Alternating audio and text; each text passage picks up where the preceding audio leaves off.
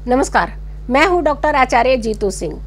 बात करेंगे कि अगर आपको बहुत ज़्यादा खुजली होती है बॉडी के ऊपर, यानी बहुत इरिटेशन, और कई बार तो ऐसा लगता है कि महफिल में जब आप चले जाते हैं तो वहाँ खुजाना पड़ता है तो बहुत ही इरिटेशन। इरिटेशन के साथ साथ आपको बहुत शर्म फील होती है, बड़ी एम्बेरसिंग सी सिचुएशन हो जाती है आपके लिए।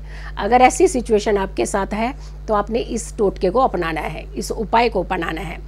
क्या करना है आपको? एक तो आपने खट्टी चीज़ों का सेवन कम से कम तीन महीने के लिए बंद कर देना है। कोई भी खट्टी चीज़ आपने नहीं खानी है।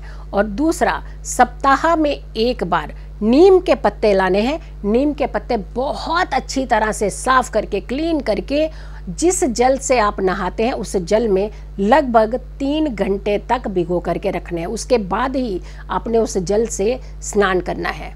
ये विधि अगर आप तीन महीने लगातार करते हैं, यकीन मानिए आपकी इचिंग, आपकी खुजली खत्म हो जाएगी। खुश रहिए, स्वस्थ रहिए, पॉजिटिव रहिए। नमस्कार।